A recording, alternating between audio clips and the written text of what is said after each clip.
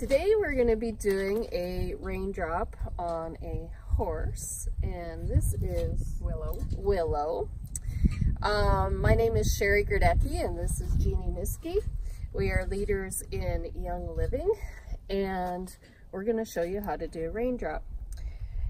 Just to get a little um, stuff out of the way here, the information in this presentation is for educational purposes only.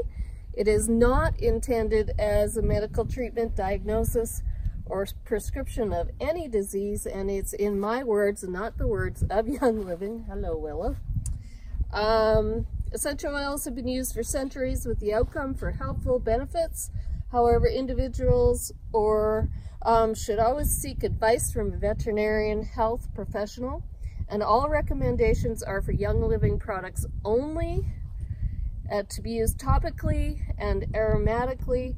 And most of the information shared in this is from the Life Science Publishing book, The Animal Desk Reference. Although many veterinarians have developed their own variations of this technique, the simplicity of this procedure is what makes it effective.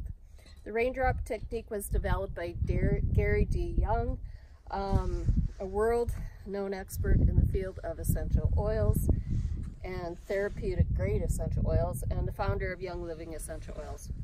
Raindrop technique for horses is similar to that of humans, except there must be practical modifications because of the difference in size and shape of the patient.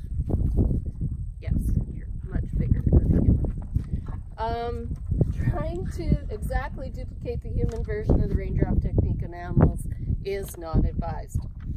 Equine raindrop technique is a home remedy for horses modality that uses a combination of essential oils and holistic modalities to bring balance and harmony back to the horse's body.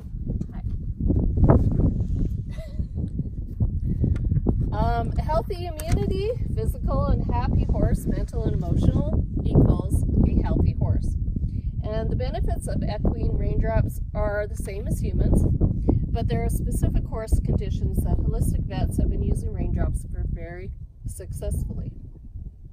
They address emotional horse emotions and physical well-being of the horse. Um, they prevent and combat occasional sore muscles before and after exercise, training, or competition.